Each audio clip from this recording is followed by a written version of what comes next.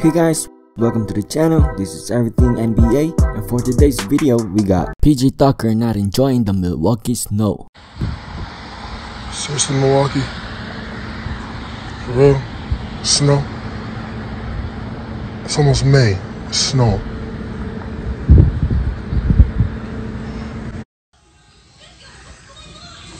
People even say I'm being dramatic. Okay. Being dramatic? I'm being dramatic. Uh, but it's not snowing. You're right.